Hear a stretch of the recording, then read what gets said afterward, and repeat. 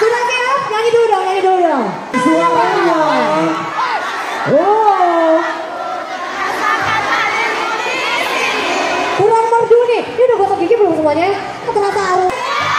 Dan masih saja kita panggil buat Lumas Samarinda Prislalka.